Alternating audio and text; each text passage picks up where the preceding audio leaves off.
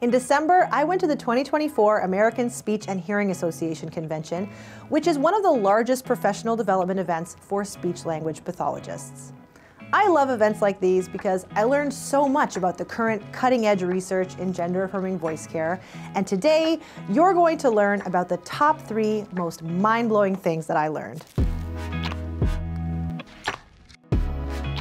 Hi, I'm Renée, and I am not a speech language pathologist. I am, however, a gender affirming voice teacher.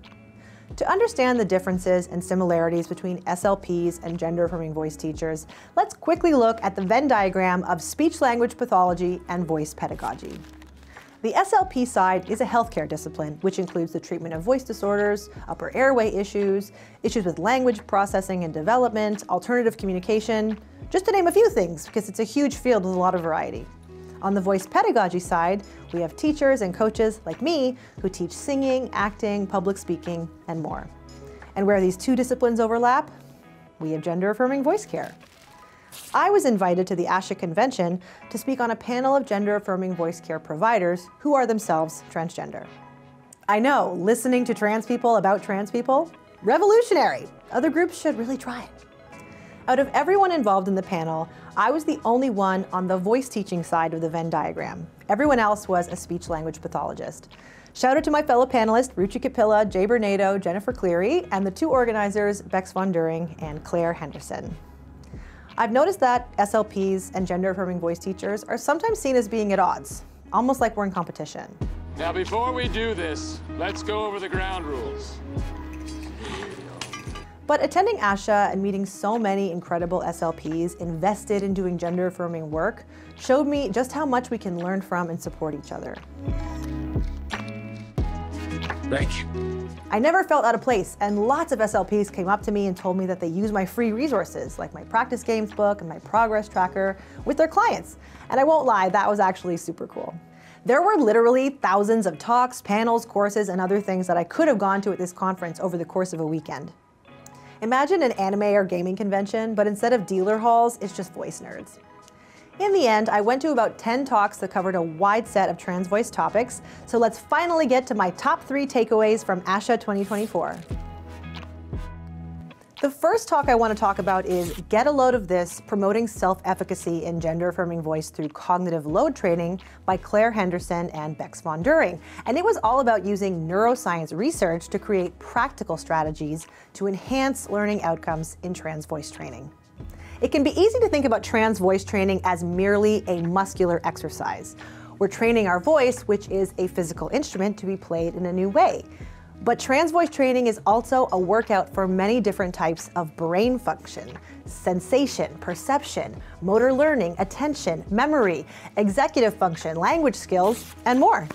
If you don't integrate these types of cognition into your training, you're not training in a way that replicates how you will really be using your voice in everyday life. This was an issue I noticed pretty early on in my trans voice teaching career, which led me to create one of my free books on my website Cognitive Load Games for Trans Voice Work.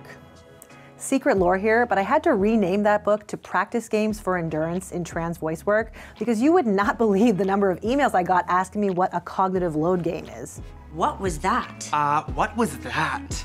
This book is filled with games that challenge you to maintain your target voice or whatever characteristic you're working on while problem solving, ideating, calculating, memorizing, and during many other cognitive load tasks.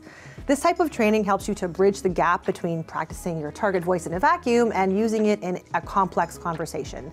It's basically a way of introducing some complexity like you might experience out in public, but without any of the stakes or extra baggage that entails. You can get it for free right now at the link in the description. Next, I went to a panel called Essential Topics in Gender Affirming Voice Care 2.0, presented by Desi Gutierrez. And this panel featured speech language pathologist, a laryngologist, and a voice surgeon. This panel was Q&A style, so we covered a lot, but what stuck out to me was just how much treatment pathways vary from person to person. Some people only need hormone therapy, some need voice therapy or lessons, some need surgery, and some need a combination of all of the above. But it was very cool to see how interdisciplinary treatment of voice dysphoria can be, and how people in the various disciplines that treat voice dysphoria are working together to create the best experience they can for trans people. Oh my God, no one's going to watch this as soon as I say therapy endpoints. They're all going to check out. Yeah. Please, no. The question for the panel that really drove this home for me was about therapy endpoints. The panel was asked, How do you know when a patient is ready for discharge? And they replied that their patients need anywhere between 3 and 35 voice therapy sessions. Now, I know some of you beginners just heard 35 and had a bit of an out of body experience, but stick with me here. I loved hearing this because it really reflected the reality I see in my work as well. I'll see one student for only a few sessions and others for years, and also literally everything in between. Some people need regular lessons every week, while others see me once a year just to check in and ask a few questions. I think this can create confusion for someone just starting out because you may not know what you should be aiming for in voice therapy or lessons.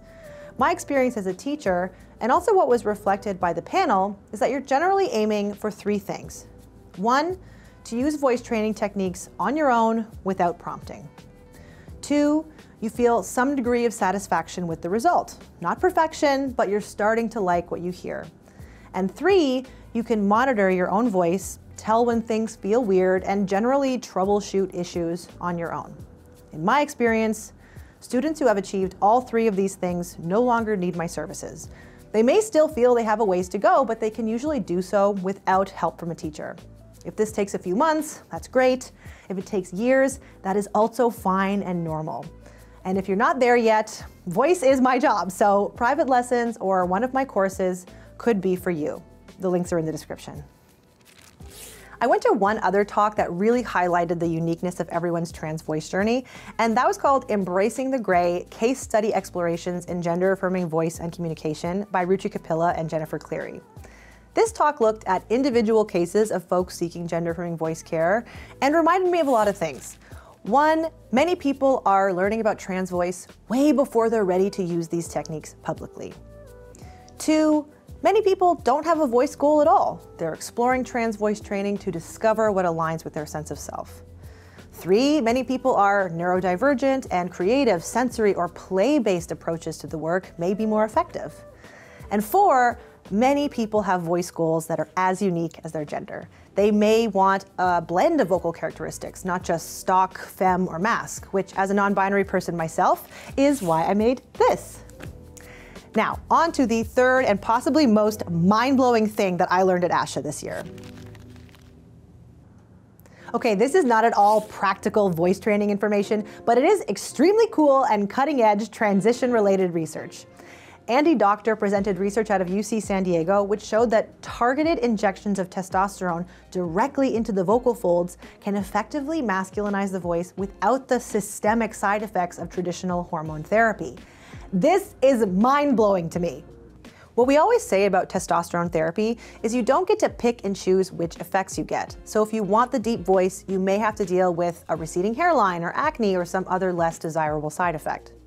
However, this study followed eight subjects who received the injections and found that they had faster voice masculinization results compared to systemic testosterone and avoided systemic effects of T.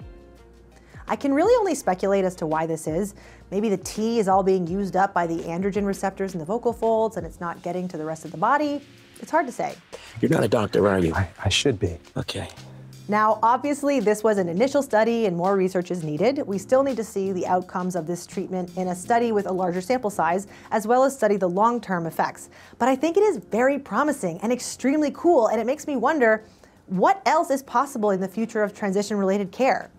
Intracordal T injections were not even remotely on my radar before this conference, so what else could be possible?